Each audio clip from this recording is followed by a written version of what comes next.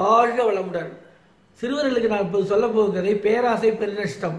ஒரு ஊரில் ஒரு குடியானவன் ஒரு இருந்தான் அவனுக்கு மனைவி இருந்தாங்க ரெண்டு பேர் இருந்தாங்க வாழ்ந்தாங்க. அவன் ஒரு வாத்து வளர்த்து வந்தான். அந்த வாத்து டெய்லி ஒரு முட்டையிடும் அந்த முட்டை என்ன மாதிரி முட்டை? சாதாரண முட்டை இல்லை பொன் முட்டை. பவுனால் பவுனாலாக செஞ்ச முட்டை.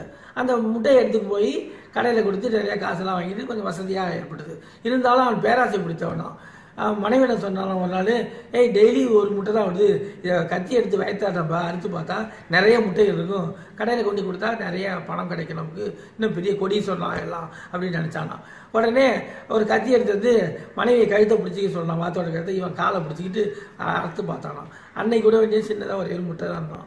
ஐயோ முட்டை வாத்து இறந்து விட்டது. தலையில் கை வச்சுட்டு பேராசை பெருநஷ்டம் வாத்து உயிரோடு இருந்தாலும் டெய்லி ஒரு முட்டையிடும். நம்ம ப- பணம் சம்பாதிச்சு கொண்டிருக்கலாம். இப்போ வாத்து இருந்து விட்டதேன்னு தலையில் எடுத்துக்கொண்டு எனக்கு பேராசை பெருநஷ்டம் ஆயிட்டேன்னு அழுதானோ அதான்